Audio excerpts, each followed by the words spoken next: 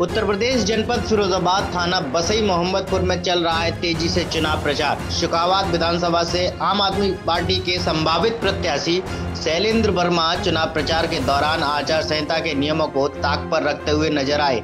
चारबाग सोफीपुर पर चुनाव प्रचार के दौरान गाड़ी पर पार्टी के लोगो और बैनर के साथ नज़र आए शैलेंद्र वर्मा।